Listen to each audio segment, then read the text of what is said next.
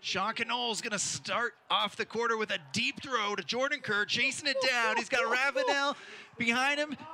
Start this second quarter. They've had about five, six minutes to rest. Sean Connole, deep backhand. Jordan Kerr, chased by Valley, and Kerr's got it. And see if that makes a big difference for us. There's Sean Knoll with a huge backhand rip. Let's see if they can track it down.